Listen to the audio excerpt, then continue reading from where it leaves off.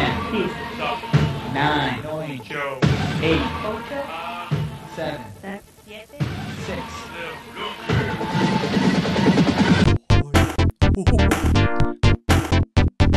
Hai, Vikišliks nepasiduoda rudiniai depresijai ir tęsia archyvų tvarkymą. O ir lydėti nebėra kada, nes jau startavo ir NBA pirmenybės, kuriuoms ir bus skirta ši laida. Konkursėlis gale irgi niekur nepradingo. Laiko mašina, kelsimės į tuos gudžius laikus, kaip internetą dauguma buvo tik girdėję, bet nematę. Tada pagrindinis informacijos iš už Atlanto šaltinis būdavo Baltijos TV NBA apžvalga su top 10. Laidą vedė dabar jau legendinis Linas Kunigėlis. All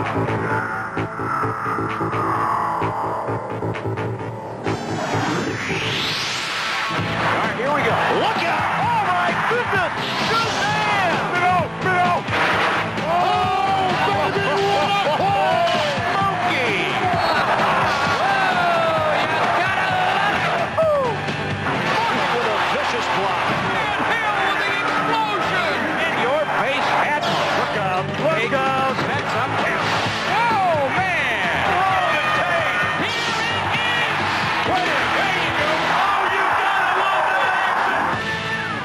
Svarbiausia būdavo laiku suspėti įsijungti televizorių.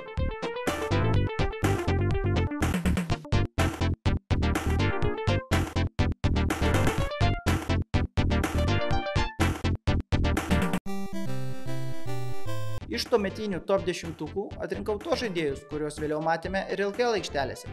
Pradedame nuo Arvido Sabonio, kur aišku dominuoja jo išatingi perdavimai. Nummer 4 noch einmal, Avidas Sabonis. Six left. Sabonis auf 7. Look at the delivery from Sabonis as Montiel gets Trečioje vietoje Arvido Sabonio perdavimas Rašydui Wallace'ui. Sabas to a Connie Wallace for the dunk. Wieder Sabone, Portland Trailblazers, der Riese aus Litauen auf Mighty Mouse. Damon, beautiful delivery by Sabonis. Portland Trail Blazers komandos ataka. Moves it to the baseline, throws it in Florida safe, and Sabonis saves it. It goes off to Williams underneath. They give it. What a basket! A slam dunk it. Arvidas Sabonis ir jo puikus perdavimas Rašydui Wallace'ui. Sabonis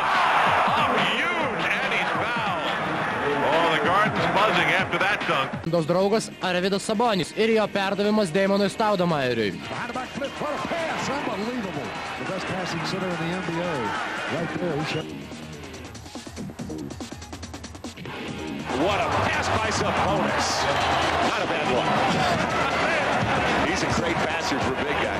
Always has. Arvidas Sabonis ir jo puikus perdavimas Teisė Augmanui. Arvidas. Oh. Beautiful. Arvidas with a great pass to Stacy Augman. That is poetry in motion. Kita tautietį, Žydrūną Ilgauską, iš pradžių varžovai gniuždė dėjimais, bet vėliau ir pačiam lietuviškajam bolui atsirišo rankos. Penktoji vieta New Jersey Nets komandos krepšininkas Jasonas Williamsas. Jason Williams elevating and slamming it through. Get back down, big fella. Chicago Bulls komandos lyderis Michaelas Jordanas tradicinis tokių dešimtukų narys. Ir jo dėjimas per Clevelando komandos aukšto ūgius. Cleveland ko- komandos ataka, kurią pradeda Žydrūnas Ilgauskas.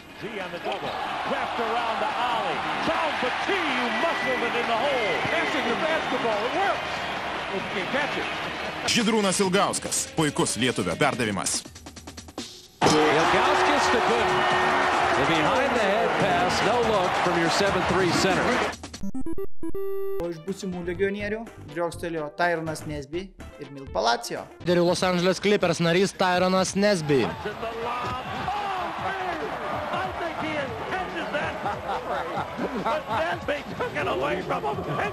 Los Angeles Clippers komandos žaidėjas Tyronas Nesby. Tyrone Nesby, a runner from midcourt. That's the buzzer. Los Angeles Clippers komandos krašto polėjas Tyronas Nesby. That brings him the Palacio ist wieder am Ende stark.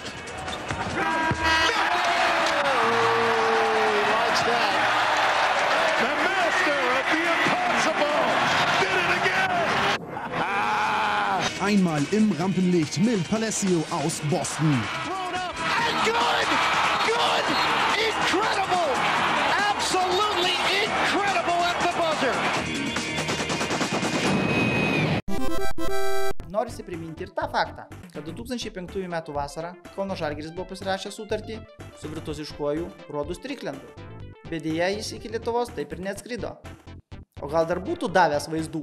Atiteko Washington Wizards komandos krepšininkui Rodui Striklandui už tai šį metimą. Take a foul! Vietoje Washington Wizards komandos vykusis gynėjas Ronas Striklandas. Brought the contact and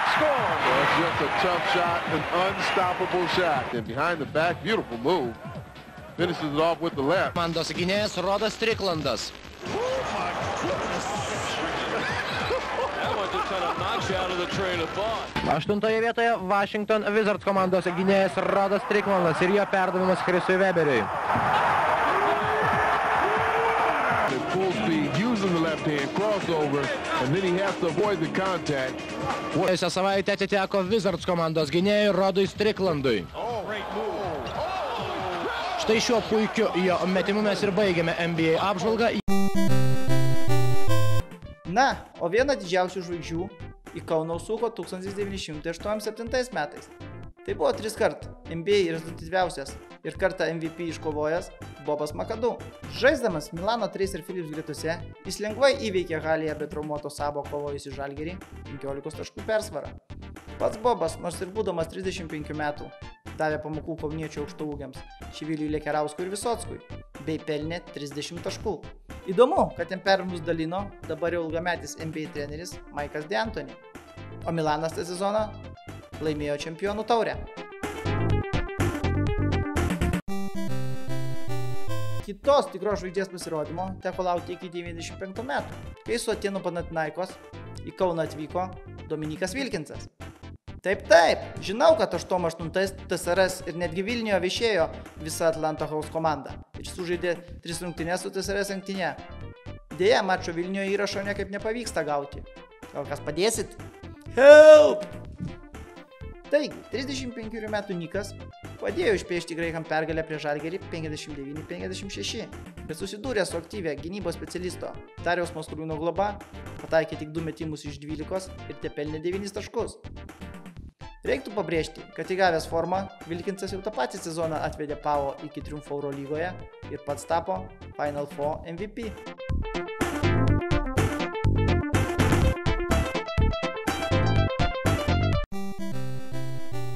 Na, o NBA mane visada labiausiai žavėjo tolimos bombos. Tai yra tikslus metimai iš savo aikštės pusės. Čia ir mažasis Maxi Bauksas, taip pat Zoronas Palniničius ir Andre Milleris, bei Karalius Rebronas ir Dveinas Veidas, bei kiti.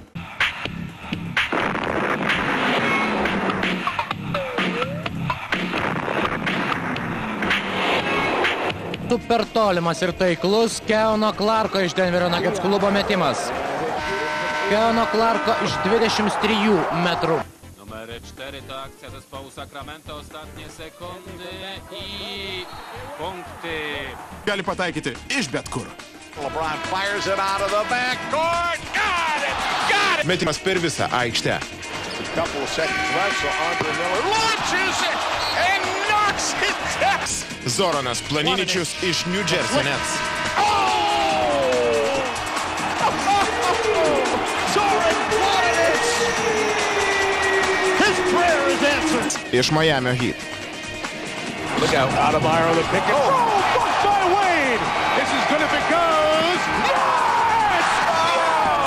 Ketvirtą vietą užima dar vienas Wizards komandos krepšininkas, tai Chrisas Weberis. The buzzer, some 60 feet.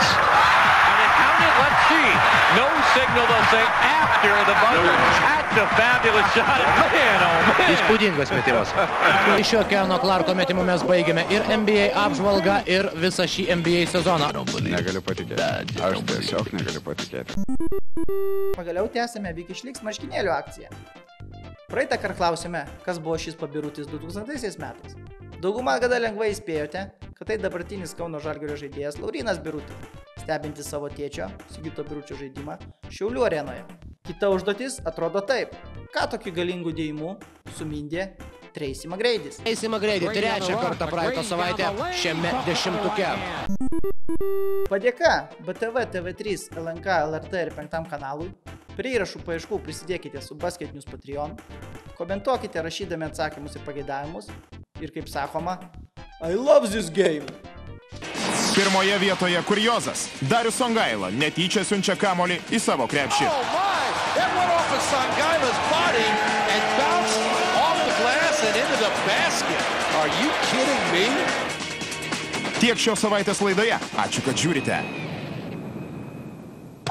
Tekstai